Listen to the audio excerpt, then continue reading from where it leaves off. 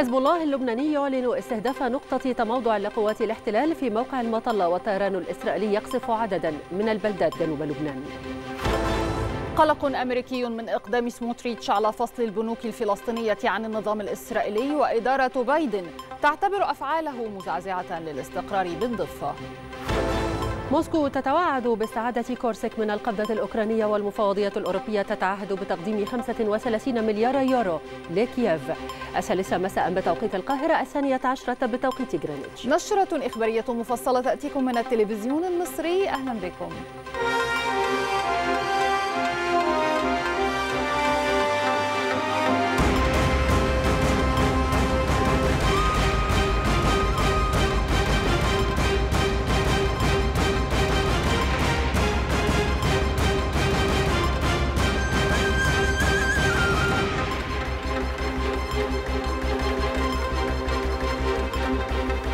أعلن حزب الله اللبناني أنه استهدف بصاروخ موجة أو بصاروخ موجه نقطة تموضع للجنود الإسرائيليين في موقع المطلة. وأضاف حزب الله اللبناني أن بلدة عيت الشعب تعرضت لقصف مدفعي إسرائيلي متقطع فيما تقوم القوات الإسرائيلية بعملية تمشيط في الجليل الغربي. وذكرت وكالة الإعلام اللبنانية أن الطيران الإسرائيلي نفذ عدوانا جويا استهدف بلدة عترون في قضاء بنت جبيل.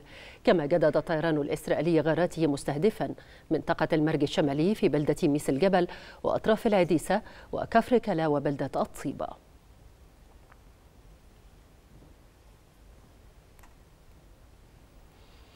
يعقد مجلس الأمن الدولي الجمعة جلسة طارئة لمناقشة انفجارات أجهزة الاتصال اللاسلكية في لبنان. وأوضح مصدر دبلوماسي أن الجلسة تنعقد بطلب من الجزائر نيابة عن الدول العربية.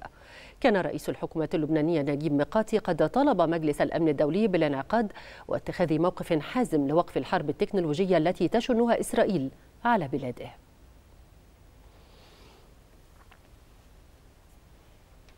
يستمر التصعيد والتهديدات والتحذيرات بين حزب الله اللبناني وإسرائيل في التصاعد. يأتي ذلك بعد مقتل أكثر من 30 شخصا وإصابة قراب قرابة 3000 آخرين بجروح جراء تفجير أجهزة بيجر ثم أجهزة اتصال لاسلكي يستخدمها عناصر في الحزب وذلك بحسب وزارة الصحة اللبنانية. تصعيد ووعيد وتحذيرات. هذا هو الوضع بين حزب الله اللبناني وإسرائيل وذلك بعد مقتل أكثر من ثلاثين شخصا وإصابة قرابة ثلاثة آلاف آخرين بجروح جراء تفجير أجهزة بيجر. ثم أجهزة اتصال لاسلكي يستخدمها عناصر في الحزب. بحسب وزارة الصحة اللبنانية. الأمين العام لحزب الله اللبناني حسن نصر الله خرج ليقول إن حزبه تعرض لضربة كبيرة وغير مسبوقة في تاريخه ومتوعدا إسرائيل بحساب عسير. وخلال كلمة نصر الله خرق الطيران الإسرائيلي جدار الصوت على علو منخفض مرتين على الأقل في أجواء لبنان. تلك التفجيرات وقعت غداة إعلان إسرائيل توسيع أهداف الحرب المتواصلة في قطاع غزة لتشمل تأمين المنطقة الحدودية الشمالية مع لبنان بشكل يضمن عودة الإسرائيليين إليها. ومع عدم اعتراف تل أبيب بتلك التفجيرات أكدت إسرائيل مواصلة إجراءاتها العسكرية ضد الحزب. وهذا ما جاء على لسان وزير الدفاع الإسرائيلي يؤاف جالانت معلنا بداية المرحلة الجديدة من الحرب. وميدانيا لا يزال القصف متبادلا بين الجانبين فضلا عن تنفيذ عمليات الاستهداف حيث أعلن جيش الاحتلال الإسرائيلي أنه قصف مئات الأهداف في جنوب لبنان التي شملت المئات. من منصات إطلاق الصواريخ التي كانت مجهزة للإطلاق باتجاه إسرائيل بالإضافة إلى نحو 100 قاذفة ومواقع بنى تحتية إضافية. من جهته أعلن الحزب تنفيذ عمليات منها استهداف عدد من مواقع الاحتلال الإسرائيلي. وعلى مدى الأشهر الماضية أعربت دول عدة عن مخاوفها من اتساع نطاق الحرب في غزة وتحولها إلى نزاع إقليمي خصوصا على الجبهة بين إسرائيل وحزب الله. فمن باريس دعا وزيرا الخارجية الأمريكي والفرنسي جميع الأطراف إلى التهدئة في الشرق الأوسط فضلا عن الجلسة الطارئة لمجلس الأمن الدولي لمناقشة هذه الهجمات والوضع الخطير في الشرق الأوسط. وفي رسالة مباشرة للبنانيين خرج الرئيس الفرنسي إيمانويل ماكرون ليؤكد لهم أن المسار الدبلوماسي موجود وأن الحرب ليست حتمية. حثت قوة الأمم المتحدة المؤقتة في لبنان يونيفيل على خفض التصعيد بعد زيادة كبيرة في الأعمال القتالية على الحدود اللبنانية الإسرائيلية. وقال المتحدث باسم اليونيفيل أندريا تينينتي إن قوة اليونيفيل ترى تصاعدا كبيرا في الأعمال القتالية عبر الخط الأزرق وفي جميع أنحاء منطقة عمليتها داعيا جميع الأطراف المعنية إلى خفض التصعيد على الفور.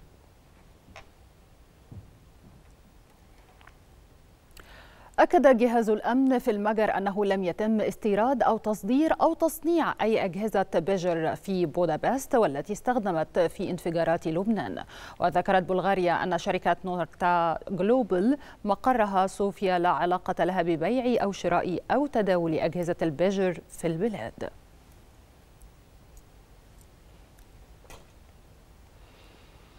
نقلت يديعوت أحرونوت نقلا عن مصادر استخباراتية أمريكية قولهم إن إسرائيل خططت على مدى 15 عاما لعملية تفجير لأجهزة الاتصالات اللاسلكية السريعة بيجر. ونقلت شبكة ABC الأمريكية عن مصدر مخابراتي أمريكي قوله إن لإسرائيل يد في تصنيع أجهزة البيجر التي انفجرت بحوزة منتسبين لحزب الله.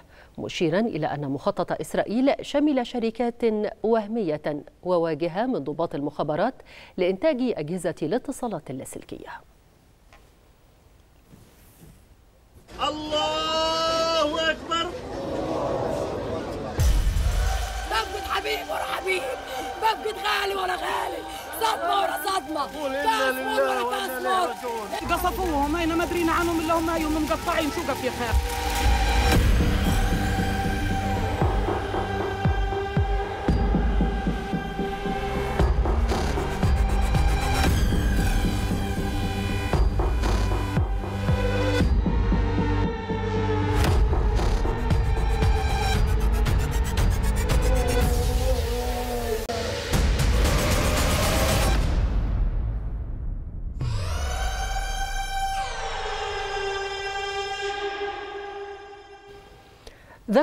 موقع أكسيوس نقلا عن مسؤولين أمريكيين أن إدارة رئيس جو بايدن قلقة للغاية. من احتمال إقدام وزير المالية الإسرائيلي على فصل البنوك الفلسطينية عن النظام المالي الإسرائيلي الشهر القادم في خطوة قد تسبب حالة من الفوضى في الضفة الغربية المحتلة. وأوضح موقع أكسيوس أن انهيار النظام المصرفي بالضفة الغربية سيكون مدمرا للمجتمع الفلسطيني بأكمله مشيرا إلى أن إدارة بايدن فكرت في فرض عقوبات على سموتريتش بسبب أفعاله المزعزعة للاستقرار بالضفة الغربية المحتلة.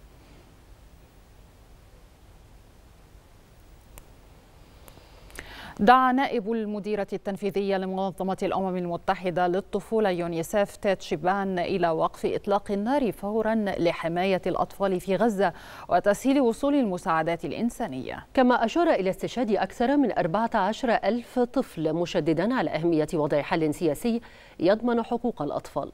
وموضحا أن الوضع الإنساني في غزة يزداد سوءا. حيث ارتفع عدد النازحين إلى 1.9 مليون شخص بينما انخفض عدد شاحنات المساعدات من 100 شاحنة يوميا في أغسطس إلى 15 شاحنة فقط في سبتمبر مما زاد من معاناة الفلسطينيين.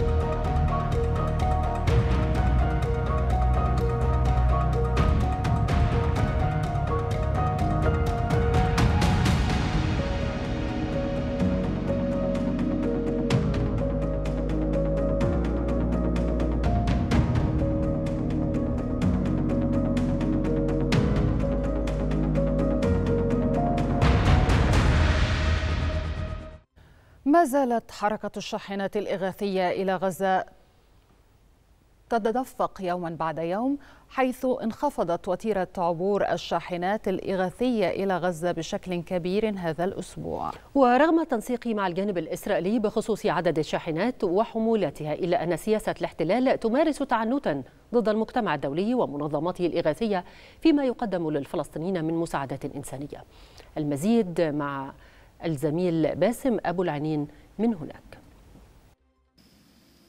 تحياتي إليكم من مدينة العريش حيث نرصد حركة الشاحنات العابرة بالمواد الغذائية والإغاثية إلى قطاع غزة عبر الأسبوع المنقضي وحتى يومنا هذا. وكانت هذه الشاحنات خلال الأسبوع المنقضي كانت تواجه عقبات كثيرة فرغم أنه يتم التنسيق والاتفاق مع الجانب الإسرائيلي بخصوص عدد ما يمر من خلال معبر كرم أبو سالم إلا أن الجانب الإسرائيلي يفاجئنا بتعنت مرة أخرى برفضه لعدد من الشحنات الإغاثية ويعيدها رغم أن هذه الشحنات أساسا يعني لا, لا جدوى من إعادتها مرة أخرى ولا يوجد مبرر لإعادتها. قارورات مياه نظيفة أدوية أشولة دقيق للخبز أشياء لا يمكن أن ترفض ولكن هم يرفضونها باعتبار أن هذه تدخل ضمن سياسة التجويع والعقاب الجماعي للشعب الفلسطيني إذ إن الإسرائيليين لا يأبهون بحياة الإنسان الفلسطيني. أصلا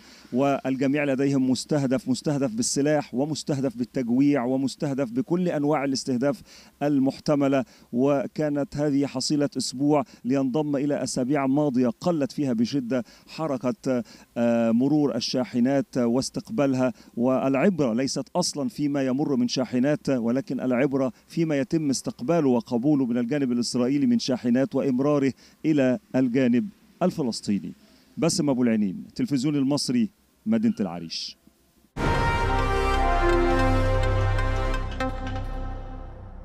يجتمع أكثر من 130 من زعماء العالم الأسبوع القادم في الأمم المتحدة وتسيطر قضايا الشرق الأوسط وأوروبا على اجتماعات الزعماء على رأسها الحرب في غزة. أكثر من 130 من زعماء العالم يجتمعون الأسبوع المقبل في الأمم المتحدة وسط تهديد باتساع نطاق الحروب في الشرق الأوسط وأوروبا. ومن المتوقع أن يهيمن العدوان الإسرائيلي المتواصل على قطاع غزة منذ قرابة عام وحرب روسيا في أوكرانيا على الاجتماعات السنوية للجمعية العامة للأمم المتحدة. ومع اقتراب الحرب من عامها الأول تواصل مصر والولايات المتحدة وقطر جهود الوساطة للتوصل إلى اتفاق لوقف إطلاق النار. كما ينفذ صبر العالم بعد تسعة أشهر من مطالبة الجمعية العامة للأمم المتحدة بأغلبية ساحقة بهدنة إنسانية. ومع تجاوز عدد الشهداء في غزة 41 ألفا. وتصاعدت المخاوف من امتداد نطاق الصراع في غزة إلى منطقة الشرق الأوسط بعد أن اتهم حزب الله اللبناني إسرائيل بالوقوف وراء تفجير أجهزة الاتصال اللاسلكي بيجر وأجهزة اتصال لاسلكي محمولة في يومين من الهجمات القاتلة ولم تعلق إسرائيل على الاتهام. ومن المرجح أن يدعو العديد من زعماء العالم إلى إنهاء الحرب الروسية الأوكرانية المستمرة منذ عامين ونصف تقريبا. ومن المقرر أن يلقي الرئيس الأوكراني فلوديمير زيلينسكي كلمة أمام الجمعية العامة في الخامس والعشرين من سبتمبر. الدورة التاسعة والسبعون للاجتماعات السنوية للجمعية العامة للأمم المتحدة تستمر ستة أيام وتناقش الأزمات والحروب حول العالم. فضلا عن إصلاح مجلس الأمن الدولي المكون من 15 عضوا والذي يتولى مهمة الحفاظ على السلم والأمن الدوليين.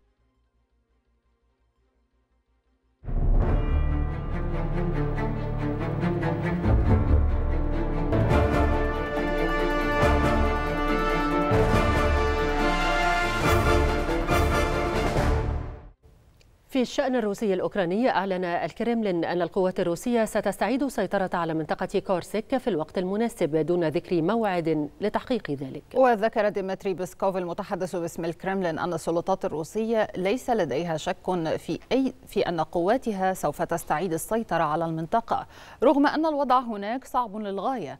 وكانت أوكرانيا توغلت داخل منطقة كورسك في السادس من أغسطس بدعم من أسراب من الطائرات المسيرة والأسلحة الثقيلة من بينها أسلحة مصنعة في الغرب.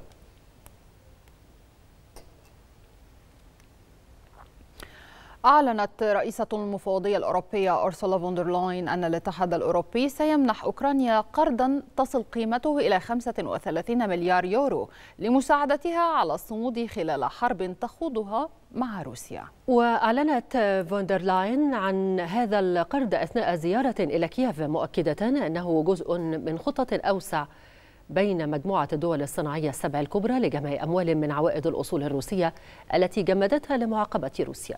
وأشارت رئيسة المفوضية الأوروبية عبر منصة أكس أن زيارتها الثامنة لكييف تتزامن مع اقتراب الموسم الذي تحتاج فيه أوكرانيا إلى التدفئة في ظل مواصلة روسيا لهجماتها على البنى التحتية للطاقة.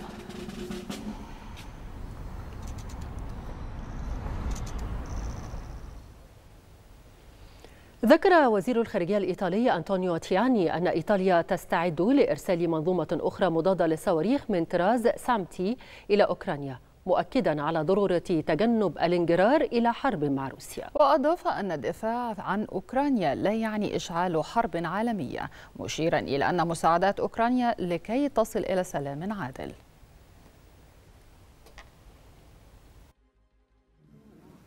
Dare sanzioni ai singoli ministri israeliani secondo me è stato un errore perché non dobbiamo interrompere il dialogo diplomatico con Israele.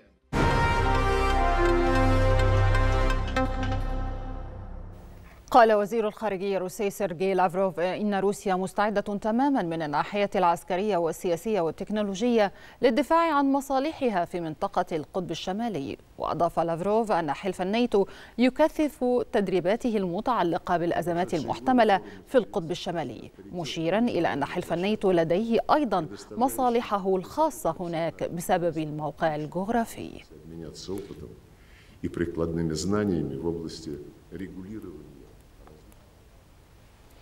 اعتبرت وزارة الدفاع الصينية أن مبيعات الأسلحة الأمريكية لتايوان انتهكت بشكل خطير أو انتهكت هذه المبيعات مبدأ صين واحدة الذي تنتهج بكين وأحكام البيانات المشتركة بين الصين والولايات المتحدة. وفي هذا الإطار أوضحت الدفاع الصينية أن بكين قدمت احتجاجا رسميا للجانب الأمريكي بشأن هذه المسألة معلنة عن خطوات ضد تسع شركات مرتبطة بالجيش الأمريكي بسبب مبيعات الأسلحة الأمريكية إلى تايوان. أطلقت الصين ستة أقمار صناعية إلى الفضاء من مركز إطلاق الأقمار الصناعية تايوان في المقاطعة شانشي شمال البلاد. وذكرت شبكة تلفزيون الصين الدولي أن هذه المهمة تعد الرحلة الخمسمائة وستة وثلاثين لسلسلة الصواريخ الحاملة لونج مارش.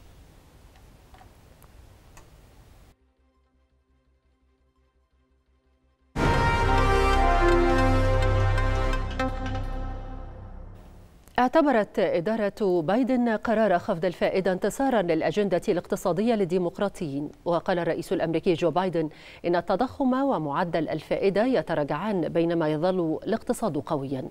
فيما وصف المرشح الجمهوري دونالد ترامب معدل خفض الفائدة بأنه رقم غير عادي للغاية ملومحا بوجود دوافع سياسية للقرار.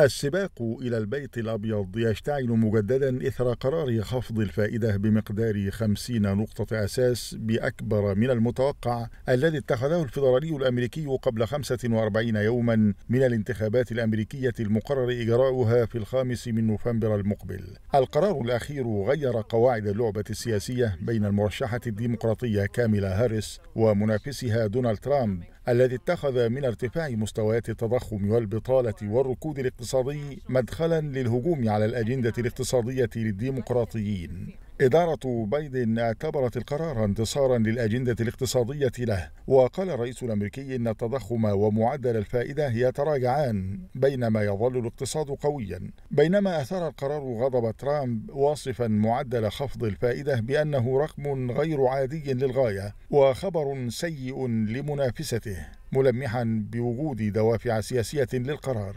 فيما كان للقرار وقع إيجابي لدى الديمقراطيين وأكدت هاريس أن القرار خبر جيد بشكل خاص للأمريكيين الذين تحملوا عبء ارتفاع الأسعار. وواصلت هاريس هجومها على ترامب مشيرة إلى أن ما سيفعله هو مزيد من خفض الضرائب لصالح المليارديرات والشركات الكبرى وأن خطته ستزيد التكاليف على الأسر بنحو أربعة آلاف دولار سنويا بفرض الضرائب على السلع التي تعتمد عليها الأسر مثل الغاز والطعام والملابس. وفي إطار إعلانه عن قرار خفض معدل الفائدة لأول مرة منذ عام 2020 أشار رئيس الاحتياطي الفيدرالي الأمريكي جيروم باول إلى أنه ربما يكون له تأثير محدود على سباق الانتخابات الأمريكية بين هاريس وترامب لأن آثار القرار على الاقتصاد ستكون بطيئة مشيرا إلى أن الاحتياطي الفيدرالي اتخذ هذا القرار بتركيز على مصالح المستهلك ودون أي اعتبارات أخرى. القرارات والأحداث غير المتوقعة تتواصل قبيل الانتخابات الأمريكية التي شهدت منحنيات عدة في حين تظل استطلاعات الرأي متغيرة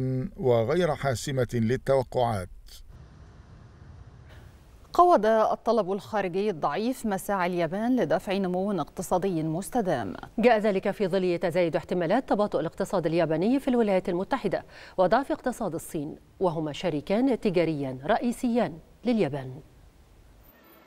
للمرة الأولى في ثلاث سنوات تباطأ نمو الصادرات اليابانية بشكل حاد في أغسطس الماضي وسط انخفاض الشحنات إلى الولايات المتحدة وانكماش طلبيات الآلات بشكل غير متوقع في يوليو. الطلب الخارجي الضعيف يقوض مساعي اليابان لدفع نمو اقتصادي مستدام خاصة في ظل تزايد احتمالات تباطؤ الاقتصاد في الولايات المتحدة وضعف اقتصاد الصين وهما شريكان تجاريان رئيسيان لليابان. ووفقا لبيانات فإن إجمالي الصادرات ارتفع بنسبة 5.6% في أغسطس على أساس سنوي وهو ما يمثل زيادة للشهر التاسع على التوالي لكنه يقل كثيرا عن متوسط توقعات السوق بعشرة بالمئة ويأتي بعد ارتفاع بواقع 10.3% في يوليو. وانخفضت الصادرات إلى الولايات المتحدة بنسبة 7 من 10% في أول انخفاض شهري منذ ما يقرب من ثلاث سنوات بضغط من تراجع مبيعات السيارات بنسبة 14.2% وارتفعت صادرات اليابان إلى الصين أكبر شريك تجاري لليابان بنسبة 5.2% في أغسطس على أساس سنوي. كما ارتفعت قيمة الواردات 2.3% في أغسطس مقارنة بالعام السابق مما دفع الميزان التجاري إلى تسجيل عجز بقيمة 4 مليارات و90 مليون دولار. وأظهرت بيانات لمكتب مجلس الوزراء الياباني أن طلبيات الآلات الأساسية انخفضت بشكل غير متوقع بنسبة 1 من 10% في يوليو مقارنة بالشهر السابق في مؤشر يثير قلقا بالنسبة لاقتصاد يكافح من أجل تحقيق تعاف قوي. اندلعت حرائق خطيرة في غابات الأمازون في بيرو حيث اجتاحت أجزاء مختلفة من البلاد مخلفة عشرة ضحايا والدمار. هذا وأعلنت السلطات في بيرو حالة تأهب ومواصلة تقديم الدعم الطبي للمتضررين في المناطق التي تأثرت بالحرائق. وكأن العالم ينقصه مزيد من المصائب فرغم تأثير التغيرات المناخية على مناطق عديدة في الكوكب الأزرق إلا أن الإنسان يصر على ارتكاب جريمة لا بد أنه مكتو بنيرانها. في قلب الغابات المطيرة للأمازون في بيرو وفي مشهد يثير القلق أضرم البعض النيران في عدة مناطق لتحويلها لأراض زراعية.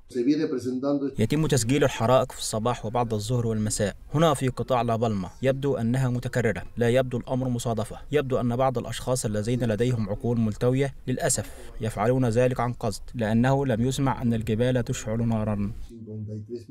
رجال الإطفاء يعملون بلا توقف في محاولة للسيطرة على الحرائق الناتجة عن أساليب القطع والحرق المستخدمة لتطهير الأراضي لأغراض زراعية والتي أتت على أكثر من خمسين ألف هكتار من الغابات. مما يهدد الحياة البرية النادرة. الخسائر طالت البشر أيضا وخسر خمسة عشر شخصا حياتهم حتى الآن. يصر الإنسان على إثخان موطنه الوحيد بمزيد من الجراح وهو ما يستلزم مواصلة إطلاق الدعوات العاجلة للتحرك. ما يحدث في رئة العالم في غابات الأمازون ناقوس خطر يذكرنا بمدى هشاشة عالمنا الطبيعي وضرورة تعاوننا العاجل لحماية البيئة والإنسانية. أعلنت رئيسة المفوضية الأوروبية أورسولا فوندر لاين صرف مساعدات بقيمة 10 مليارات يورو للدول المتضررة من الفيضانات. وقالت رئيسة المفوضية الأوروبية خلال رحلتها إلى مدينة فروتسفاف غربي بولندا والتي تقع عند نقطة فيضان نهر أودر.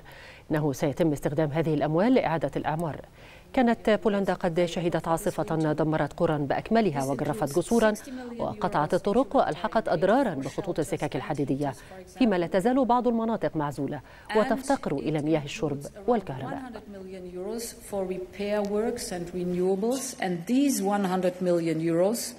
come from the proceeds of the immobilized Russian assets in the European Union.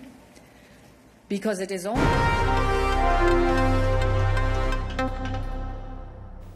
تواصل وزارة الداخلية توزيع الحقائب المدرسية على الأسر بالمناطق الحضرية الجديدة بمختلف مديريات الأمن بمناسبة العام الدراسي الجديد. يأتي ذلك في إطار مبادرة كلنا واحد برعاية السيد الرئيس عبد الفتاح السيسي.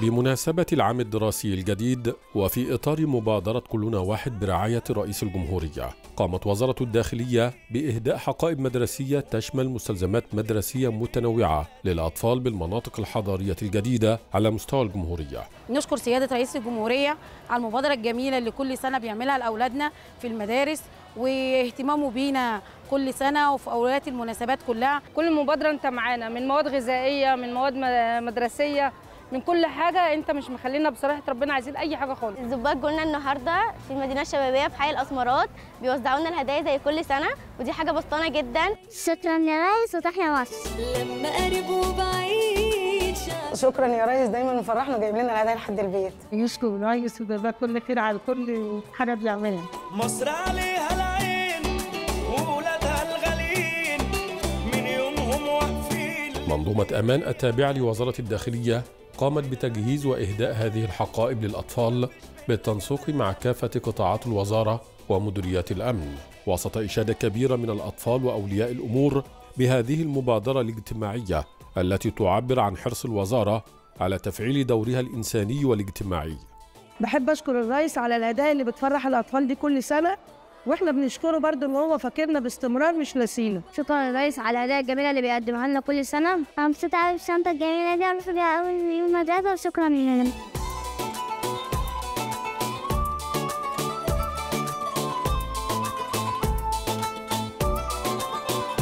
دايما فاكرنا ودايما معانا هو ومش ناسينا ودايما جايب لنا كل حاجة هنا في المدينة.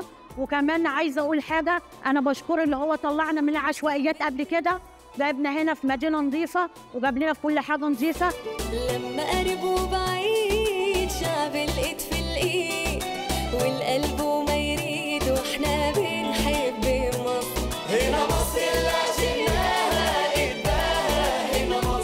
شكرا يا ريس جدا على الشنطه الحلوه اللي انت جايبها لنا ديت إحنا كنا مستنيينها وشكرا لحضرتك ان انت بتجيب في كل مناسبات الشنط وحاجة رمضان وكل حاجة. ما تحرمش منك يا ريس. عيالنا فرحانين بالصراحة بحاجة المدارس اهيت ونشكر سيادة الريس. دايما بنستناها عشان حضرتك دايما بتبعتها ومش بتنسانا. كل سنة وحضرتك طيب وتحيا مصر تحيا مصر تحيا مصر. تواصل مبادرة كلنا واحد برعاية رئيس الجمهورية دورها في تقديم الدعم والمساندة لقاطين المناطق الحضرية الجديدة. على مدار العام انطلاقا من تعزيز روح المشاركة المجتمعية وتحقيق التكافل الاجتماعي. الرئيس هنا من المحروسة بنكون فرحانين ومبسوطين لنا شنط أنا وكل أصحابي. بشكر الرئيس علشان كل كل سنة بيدينا شنط وبتبقى فيها كل الكراريس والمقالب والحاجات المدرسة. شكرا يا ريس على الهدية الجميلة دي تحيا مصر. هنا ما بنعرفش محال.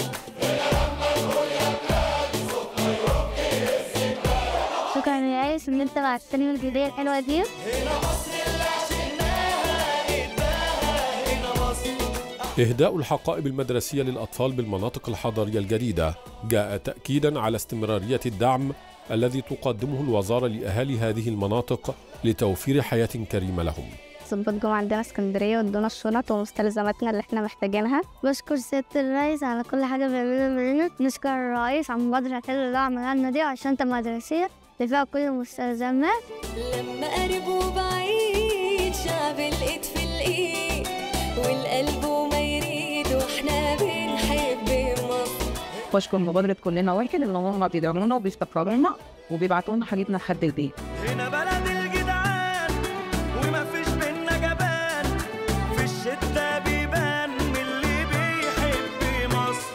تحيا مصر تحيا مصر تحيا مصر شكرا لسيادة الرئيس. واصل وزير المالية أحمد كوجك سلسلة لقاءات في إطار جولته الجديدة من حواره الاقتصادي الممتد مع أكثر من 100 من ممثلي كبرى المؤسسات المالية والبنوك الاستثمارية والتنموية بلندن. وشارك كوجك في جلسة جلسة نظمتها أو نظمها بنك أوف نيويورك ميلون بحضور وزير الاستثمار والتجارة الخارجية حسن الخطيب وعدد من المسؤولين. كما أكد كوجوك أن الوضع الاقتصادي في مصر مطمئن على نحو انعكس في مؤشرات جديدة للأداء المالي للموازنة خلال العام الماضي المنتهية في يونيو الماضي. هذا وقد تم تحقيق فائض أولي بنسبة 6.1% وترجع تراجع معدل عجز الموازنة إلى 3.6% من الناتج المحلي الإجمالي في حين انخفض معدل الدين الداخلي للموازنة بنسبة 4.7%.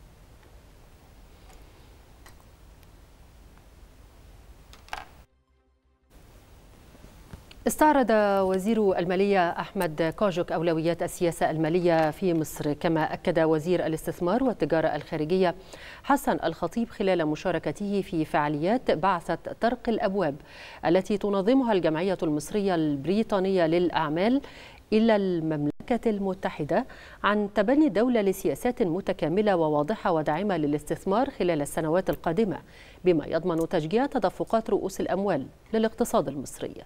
وأوضح الخطيب أن الرخصة الذهبية تعد أداة فعالة لتبسيط إجراءات تأسيس وترخيص الشركات في مكان واحد لدعم القطاع الخاص والشركات الكبرى.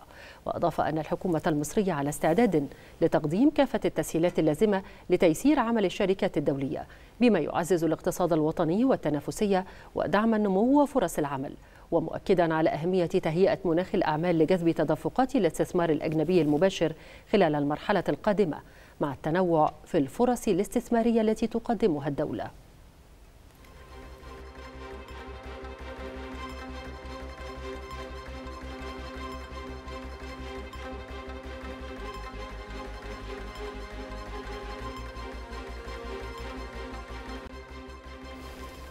أكد وزير التعليم العالي والبحث العلمي أيمن عاشور أن فعاليات أسبوع شباب الجامعات التكنولوجية يجسد اهتمام الدولة بالشباب. جاء ذلك خلال فعاليات النسخة الأولى من أسبوع شباب الجامعات التكنولوجية.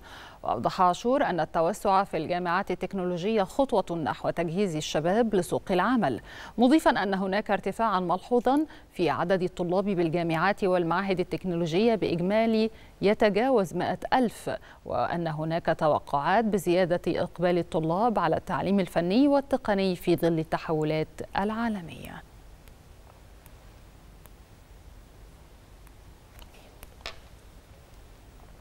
أعلنت وزارة النقل رفع درجة الاستعداد القصوى بجميع خطوط شبكات السكك الحديدية وخطوط المترو الثلاثة والقطار الكهربائي الخفيف LRT يأتي ذلك استعدادا لبدء العام الدراسي الجديد واتخاذ كافة الإجراءات والآليات التي تهدف إلى توفير خدمة مميزة لجمهور الركاب.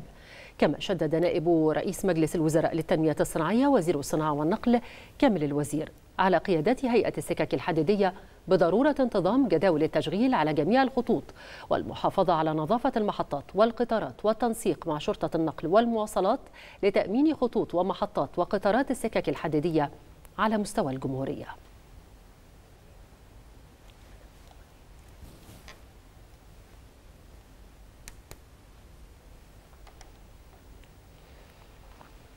ترأس نائب رئيس مجلس الوزراء وزير الصناعة والنقل كامل الوزير اجتماع الجمعية العمومية العادية لشركة الاتحاد العربي للنقل البري والسياحة سوبرجيت.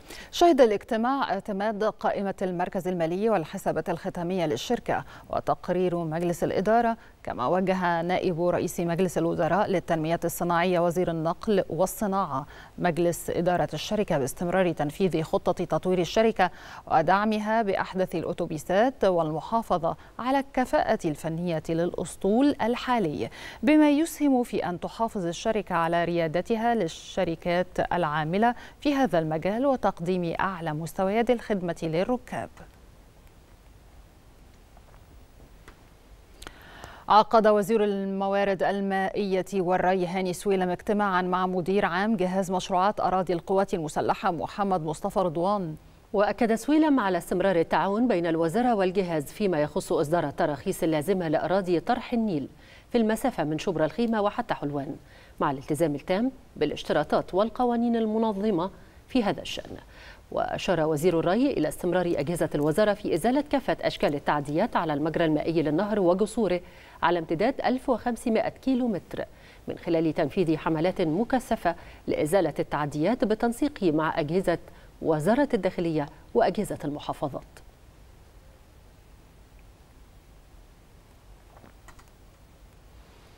أعلن وزير الإسكان والمرافق والمجتمعات العمرانية شريف الشربيني عن طرح 1645 وحدة سكنية متنوعة بمساحات تصل إلى 161 متر مربع بأنظمة سداد ميسرة. للحجز الفوري من خلال أجهزة ثمان مدن جديدة. ويأتي ذلك خلال الفترة من التاسع والعشرين من سبتمبر الجاري وإلى الثامن والعشرين من أكتوبر المقبل. وأوضح وزير الإسكان أن هذا الطرح يأتي وفقا لآليات الإتاحة المباشرة للوحدات السكنية من خلال أجهزة المدن الجديدة. وذلك في إطار جهود الوزارة ممثلة في هيئة المجتمعات العمرانية الجديدة لتنويع آليات طرح وإتاحة الوحدات بمختلف أنماطها لتلائم جميع شرائح المجتمع.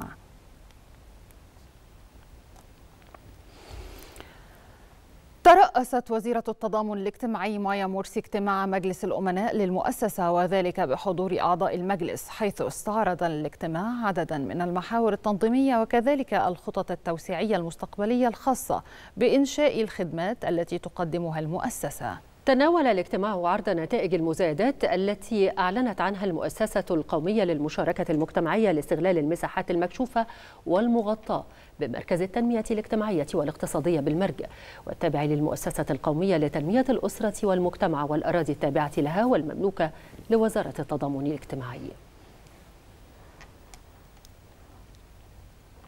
أكدت وزيرة التخطيط والتنمية الاقتصادية والتعاون الدولي رانيا المشاط أهمية تعزيز كفاءة الهيكل المالي العالمي لدفع التمويل من أجل التنمية. جاء ذلك خلال مشاركة الوزيرة في أسبوع الأمم المتحدة وقمة المستقبل حيث أشارت المشاط إلى أن هناك آمال كبيرة منعقدة على قمة المستقبل لتحقيق اتفاق دولي حول القضايا الملحة وعلى رأسها تحديات التنمية الاقتصادية. توجه وزير الاتصالات وتكنولوجيا المعلومات عمرو طلعت إلى نيويورك في زيارة عمل تستغرق يومين. يهدف ذلك لمشاركة الوزير كمتحدث في جلسات الحدث الرقمي. لأهداف التنمية المستدامة والمقرر أن ينعقد بمقر الأمم المتحدة ضمن فعاليات قمة أيام عمل قمة الأمم المتحدة للمستقبل والتي تعد تمهيدا للقمة الرسمية المزمع عقدها بالتزامن مع الأسبوع الرابع المستوى للدورة التاسعة والسبعين للجمعيات العامة. للأمم المتحدة.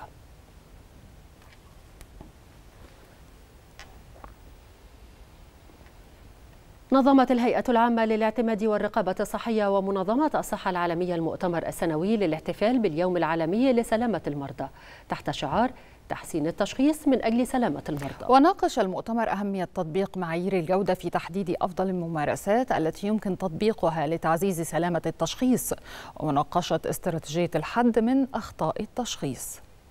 بهدف تعزيز التعاون بين القيادات الصحية لتدعيم معايير السلامة التشخيصية القوية. نظمت الهيئة العامة للاعتماد والرقابة الصحية ومنظمة الصحة العالمية المؤتمر السنوي للاحتفال باليوم العالمي لسلامة المرضى. تحت شعار تحسين التشخيص من أجل سلامة المرضى. آه، الهدف من هذا المؤتمر وهذه الاحتفالية إن إحنا نحط خطوط عريضة يمكن بعد اتباعها ان نقلل من نسب هذه الأخطاء ونجنب المرضى داخل منشآت صحية الوقوع في مشاكل تشخيصية ومن ثم مشاكل في العلاج. لأن زي ما حضرتك تعلم أن التشخيص هو نصف العلاج ويتحكم في النصف الآخر. الحقيقة احتفالية مهمة جدا. آه، هي في من أجل سلامة المريض. آه، ال- الشعار هذه السنة هو يتعلق بالتشخيص لأنه 16% من الأخطاء الطبية اللي يمكن تجنبها هي بسبب آه، عدم دقة التشخيص. كما تعرف إذا التشخيص كان غير دقيق معناها كل المداخلات اللي تأتي بعد التشخيص راح تكون غير صحيحة. المؤتمر تناول أهمية تطبيق معايير الجودة في تحديد أفضل الممارسات التي يمكن تطبيقها لتعزيز سلامة التشخيص ومناقشة استراتيجيات الحد من أخطاء التشخيص. إحنا النهارده في هيئة الرعاية الصحية أيضا كان في الفرصه إن إحنا نعرض نع- نعرض عدد من الإنجازات اللي تمت على أرض الواقع المتمثلة في آه، حصول 80% من منشآتنا اللي هي حوالي 336 منشأة ما بين مستشفيات ووحدات صحية في محافظات المرحلة الأولى في التأمين الصحي الشامل على درجات الاعتماد من هيئة الاعتماد والرقابة الصحية وأيضا حصلنا على الاعتماد الدولي من منظمة ال JCI العالمية المعنية بالاعتماد آه، الدولي للمنشآت طبقا ل آه، أحدث وارقى معايير الاعتماد الدولية فيما يتعلق بالرعاية الصحية سعداء طبعا بمشاركتنا وفخورون باللي بيحصل في الدولة المصرية من حيث الإصلاح الصحي وأيضا آه، الحفاظ على سلامة المرضى داخل المنشآت. الهيئة العامة للاعتماد والرقابة الصحية قامت بوضع معايير دقيقة لضمان جودة الفحوصات المختبرية وتقنيات التشخيص التصويري في المنشآت الصحية المعتمدة.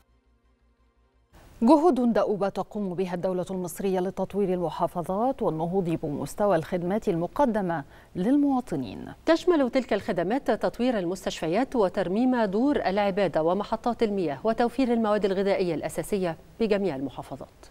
اليوم الثاني على التوالي استمرت جولة محافظ الجيزة بمدينة الواحات البحرية لتفقد المشروعات المختلفة والتي شملت أعمال وتجديد مسجد الأنصاري بمدينة البويطي وحرص على تكريم حافظة القرآن الكريم من أبناء المدينة. كما تفقد المحافظ مستشفى الواحات البحرية للوقوف على الخدمات المقدمة للمرضى مؤكدا أنه سيتم تدعيم المستشفى بالعديد من الأجهزة الطبية لزيادة الخدمات الصحية. وأكمل المحافظ جولته بتفقد محطة تحلية المياه الرئيسية التي تضخ المياه للمدينة والتي تعتمد على استخدام الأساليب الحديثة في العمل. فعلا اليوم الثاني على التوالي آه، وسط أهالينا أهالي اللوحات البحرية آه، لمست بنفسي المشاكل اللي عندهم. مرينا على ال- المستشفى المركزي اللي موجودة آه، عن يعني المستشفى يمكن مدعمة بأجهزة آه، مش مش مش قليلة آه، محتاجين تدعيم أكتر. والأهم من كده الطاقة البشرية آه، لإدارة آه، شؤون المستشفى الطبية للأسف غير مكتملة. نتيجة بعد ال- الواحات طبعا عن القاهرة. فإحنا إن شاء الله هننظر في الأمر دوت وهنتواصل مع معالي وزير الصحة. الجولة شملت تفقد إحدى شركات وزارة التموين للتأكد من توافر السلع للمواطنين ووجه المحافظ بمزيد من الدعم والموارد المختلفة أهالي الواحات البحرية بالإضافة للتأكيد على أهمية المقومات السياحية التي تتمتع بها المدينة والعمل على وضعها على خريطة المدن السياحية الكبرى. تفقد معاليه رصف عدد 8 كيلو متر دعما للتجمعات الموجودة في قرى الحيز طبل أمون ومنطقة عين جمعة ومنطقة ريس ومنطقة ال- الغربية. أيضا تفقد معاليه مشروع إنشاء ال- ال- وحدة المطافي واللي كان من ضمن الاعتمادات المخصصة للوحدة المحلية المركز الواحات البحرية. جمعية بتعمل على تنشيط السياحة والحفاظ على البيئة بالواحات البحرية وتدريب الكوادر السياحية الجديدة أو الدليل الصحراوي وتأهيله عشان يبقى دليل صحراوي بدون مشاكل في الصحراء عموما. آه، الحاجة التانية زيارة السيد المحافظ آه، هيكون سبورت لينا لأن سيادته طلع وعمل رحلة صحراوية وشاف آه، المقومات السياحية الفريدة من نوعها في الواحات البحرية. فبنطالب سيادة الوزير المحافظ ورئيس الجمهورية أن الواحات البحرية توضع على الخريطة السياحية. جولة مهمة استمرت على مدار يومين للوقوف على مشكلات أهالي مدينة الواحات البحرية والعمل على حلها تنفيذا لتوجيهات القيادة السياسية والتأكيد على مواصلة تلك الجولات لمتابعة الانتهاء من تنفيذ المشروعات المختلفة وتقديم أفضل الخدمات التي تليق بالمواطنين وبالمكانة السياحية والأثرية لمدينة الواحات البحرية. محمود جميل التلفزيون المصري. تفقد محافظ أسيوط هشام أبو النصر موقف سيارات من قباد الجديد الذي تم الانتهاء منه وتشغيله لتقديم الخدمات للمواطنين. يأتي ذلك ضمن المشروعات المبادرة الرئاسية حياة كريمة كما وجه محافظ أسيوط بإزالة التعديات على المنطقة المجاورة لموقف السيدار السيارات وتنفيذ أعمال نظافة المحلات والكافيتريات الملحقة بالموقف الجديد تمهيدا لطرحها وتشغيلها فورا لتقديم الخدمات للمواطنين وتوفير فرص عمل لأهالي القرية.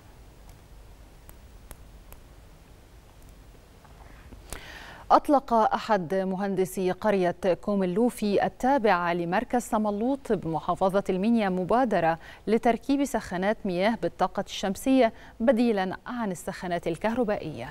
توفر السخانات الشمسية الأمنة لمستخدميها فضلا عن توفير التكلفة التي تلائم جميع الطبقات الاجتماعية. ترشيدا لاستهلاك الكهرباء وانطلاقا من الدور المجتمعي في تجاوز التحديات التي تواجه الدولة في ظل ما يشهده العالم من أزمات في الطاقة أطلق أحد مهندسي قرية كوميلو في التابعة لمركز صملوط بمحافظة المنيا مبادرة لتركيب سخانات مياه بالطاقة الشمسية بديلاً عن السخانات الكهربائية لتصبح القرية من أولى قرى المحافظة استخداماً للسخانات الشمسية. السخان الشمسي مميزاته طبعاً إن هو بيوفر بديل لسخانات الكهرباء والغاز بيوفر علينا في فواتير الكهرباء وبيوفر علينا في فواتير الغاز الطبيعي. هو من أفضل السخانات الموجودة حاليا آه، كاستعماله لتوفير في من ناحية الكهرباء ومن ناحية البوتاجاز. وما فيش منه أي ضرر ولا منه أي حاجة تأذي أي حد. وبيضخوا كمية مية كويسة سخنة سواء في الصيف أو الشتاء. فكرة المبادرة جابت منازل قرية كوميلوفي حيث أقبل العديد من الأهالي على تركيبها بمنازلهم بالإضافة إلى تركيبها بعدد من مساجد القرية. توفر السخانات الشمسية الأمان لمستخدميها فضلاً عن توفير التكلفة التي تلائم جميع الطبقات الاجتماعية. مبادرة إيجابية أكدت قرية كوميلوفي من خلالها أن مواجهة أزمات الطاقة هي مسؤولية مشتركة تتطلب مساندة الشعب للدولة.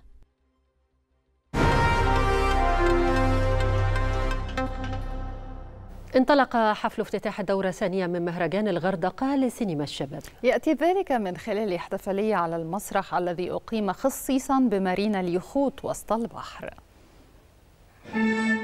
بحضور نجوم الفن انطلق حفل افتتاح الدورة الثانية من مهرجان الغردقة لسينما الشباب وذلك من خلال احتفالية على المسرح الذي أقيم خصيصا بمارينا اليخوت وسط البحر. وحضرها السيناريست محمد الباسوسي رئيس المهرجان والكاتب الصحفي قدر الحجار مدير المهرجان والدكتور خالد مسعود نائبا عن وزير الشباب والرياضة.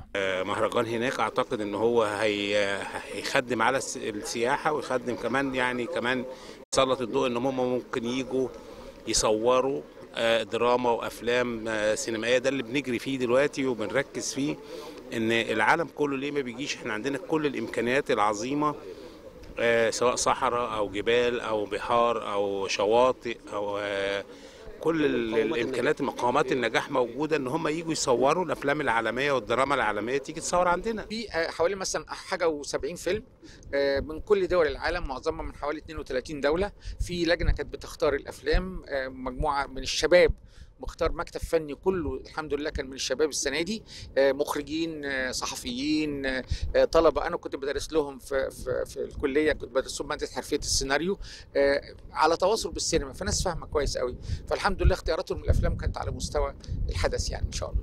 إدارة المهرجان قدمت لجان تحكيم المسابقات الأربعة لجمهور المهرجان كما شهد الحفل تكريم تجارب سينمائية ملهمة للشباب. وهم الفنانة اللبنانية دياموند أبو عبود والمخرجة ساندرا نشأت والمنتج هشام عبد الخالق. وتم إهداؤهم شهادات التقدير وقناع الفرعون توت عنخ آمون يعني أنا بتشرف بهذا التكريم ومبسوطة إنه عم بتكرم اليوم آه، من مصر ومن الغردقة ومن مهرجان آه، الغردقة لسينما الشباب آه، فبشكرهم من كل قلبي يعني. مهرجان الغردقة لسينما الشباب تنظم مؤسسة فنون للثقافة والإعلام تحت رعاية وزارات الثقافة والسياحة والشباب والرياضة ومحافظة البحر الأحمر. وتعقد دورته الثانية في الفترة من التاسع عشر وحتى الرابع والعشرين من سبتمبر. ويتضمن مسابقات لأفلام الشباب من الأعمال الأولى لمخرجيها ومؤلفيها أو الأعمال التي تتناول قضايا خاصة بالشباب من الأفلام الطويلة والقصيرة ومسابقات لأفلام الطلبة. كما يخصص المهرجان جائزة تحت عنوان الجائزة الخضراء تمنح للأفلام التي تدعم فكرة الحفاظ على البيئة والمناخ. استطاع فنان تشكيلي في محافظة الشرقية أن يجذب الانتباه بعد أن غزت العرائس الخشبية التي يقوم بتصنيعها الأسواق. أفنى العم غالي أكثر من نصف قرن من حياته في صناعة وتلوين العرائس الخشبية من خلال ورشته الصغيرة التي جذبت العديد من المتدربين. مزج الإبداع بتراث فن لا يجيده الكثيرون. تلك هي حكاية العم غالي في محافظة الشرقية حيث استطاع أن يستر اسمه بحروف من نور في عالم صناعة وتلوين العرائس الخشبية وتثبيت التراث المصري. في مدينة الزقازيق بمحافظة الشرقية تقع ورشة صغيرة وبداخلها غالي أحمد عبد العظيم فنان تشكيلي يبلغ من العمر نحو 77 عاما أفنى أكثر من نصف قرن من حياته. في صناعة وتلوين العرائس الخشبية. القصة دي ابتدت معايا من آه، 67 تقريبا وما فرقتهاش من هذا التاريخ إلى وقتنا الحالي. هي ابتدت آه، من الأول وأنا طفل صغير كنت أميل لأن أنا أصنع تمثال صغير أعمل حاجة صغيرة لدرجة إن أنا كنت بجيب صباع الطباشير آه، بتاع المدرسة وأجيب مو- الموس بتاع الحلاقة وأقعد أنحت فيه وأشكل فيه. وابتدأت الحكاية ديت من من من من منذ الصغر. البداية كانت في عمر الثانية والعشرين عاما حينما شاهد غالي عرائس قادمة له من روسيا مع أحد أصدقائه فقرر تعلم كيفية صناعتها بالطابع المصري. من خلال نحتها على خشب البرتقال بأشكال بسيطة جذبت كل من شاهدها وطور من الشخصيات التي يصنعها حتى طالبه البائعون بكميات كبيرة منها وهو ما دفعه للاستمرار والمواصلة في تنفيذ فنه ودعم موهبته بحاول بقدر الإمكان دلوقتي إن الخبرات اللي اكتسبتها العمر ده كله أنقلها ل... لكل واحد عايز يتعلم حاجة ما ما, ما بتأخرش عنه حاجة أبدا آه، وأساعده و... و... و... ويخسر. ويفشل. ونصلح لغاية ما بيوصل وفيهم ناس كتير وصلت وابتدوا دلوقتي ياخدوا آه، مجالهم في السوق وشغالين. وبعدها انطلق الفنان التشكيلي ابن مدينة الزقازيق وذاع صيته بعدما انتشرت العرائس والفن التشكيلي الذي يقدمه وغزت الأسواق. وبدأ في نقل موهبته وتدريب المهتمين بالفن التشكيلي والعرائس الخشبية حتى يومنا هذا. ولم يتوانى يوما عن الذهاب لورشته البسيطة التي أنجبت أجيالا من الفنانين. ختام النشرة تذكرة بأبرز ما جاء فيها من أخبار. حزب الله اللبناني يعلن استهداف نقطة تموضع لقوات الاحتلال في موقع المطلة والطيران الإسرائيلي يقصف عددا من البلدات جنوب لبنان. قلق أمريكي من إقدام سيموتريتش على فصل البنوك الفلسطينية عن النظام الإسرائيلي وإدارة بايدن تعتبر أفعاله مزعزعة للاستقرار بالضفة. موسكو تتوعد باستعادة كورسك من القبضة الأوكرانية والمفوضية الأوروبية تتعهد بتقديم 35 مليار يورو لكييف. انتهت نشرة الثالثة من التلفزيون المصري. شكرا لكم وإلى اللقاء.